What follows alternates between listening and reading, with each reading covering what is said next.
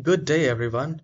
If your computer is infected by virus or spyware, malware, trojan, ransomware, then this tutorial is for you. Please do not worry, have some patience, follow these easy steps and you will be able to get rid of these infections. So the very first thing here, you need to open the browser. And once the browser is opened, you need to run two scans here. The very first is super anti-spyware. You just need to type in the address bar. Once you have typed super anti-spyware, hit enter. The very first result, please make sure that you only visit www.superantispyware.com.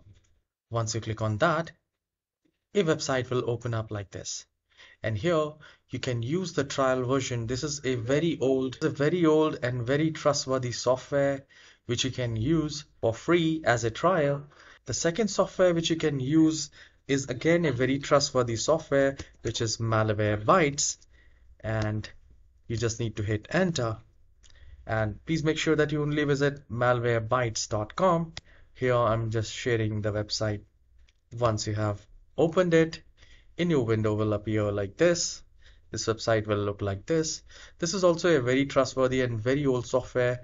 You can do a free download the Malwarebytes and do a scan and remove the infection. Now once you have removed the infection there is one more thing we can do is to remove extensions from the browser itself. So if, if you're using a Google Chrome you can click on this top right corner three dots Simply go to settings and click on this advanced tab and here go to reset and cleanup and click on restore settings to their original defaults.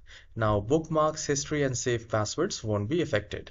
So resetting the browser will actually help you a lot because if you have any infections or any extension that will be disabled and your browser will be in brand new condition. In the same manner you can use the Microsoft Edge if you're using a Microsoft Edge. So I'll just click on this three dots and here you can go to settings and at the left hand side you will find reset settings and you can restore settings to their defaults. Now this will not delete favorites, history or save passwords. It will only reset the page, pin tab, extensions, which you can do it. And once you have done it, please restart the computer and your computer will be back to normal. You can let me know in the comment section if you still have any issues. I'll try my best to fix your problem. Have a wonderful day.